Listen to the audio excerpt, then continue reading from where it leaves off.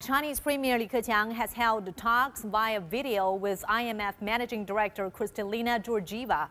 While Li Keqiang recalled a recent roundtable dialogue with organizations including the World Bank, the IMF, and the International Labour Organization in late November. He said all sides expressed a commitment to upholding multilateralism and working together to address global challenges. Li explained the current economic situation in China and expressed confidence about economic growth this year.